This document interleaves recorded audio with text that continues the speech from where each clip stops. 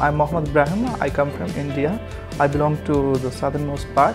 In India, I was working in the government setup. I was working for the oncology, especially I was dealing with uh, informatics, stem cell transfusion, and uh, the transplantation unit. Moreover, in the oncology. Yeah.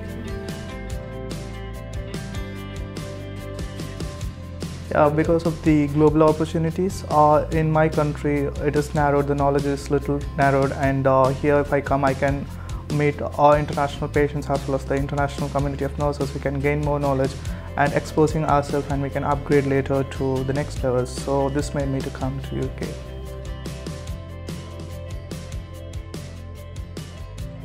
Yeah, TTM is really beneficial. It helped me in all the paperwork. They are, are ready to clarify all the doubts which I'm having, and uh, you know, uh, with everything like uh, from getting into the stream, getting the uh, visa done, and everything, they helped me all throughout the process. And uh, they even arranged me for the pickup and uh, the accommodation. Everything was done very good and great by TTM. Yes, I really find great with TTM. It's all uh, because of Clara. Uh, we uh, we communicated each other through LinkedIn, and uh, it's her the first sign uh, for me with TTM Healthcare, and she helped me throughout the process.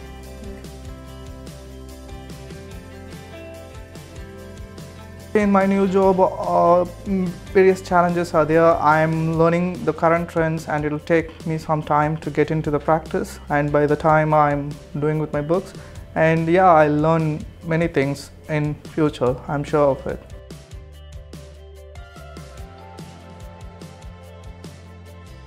Yeah, obviously, it's all will be a, like a dream, and uh, to be in an international place, and uh, London is really a good place to live in.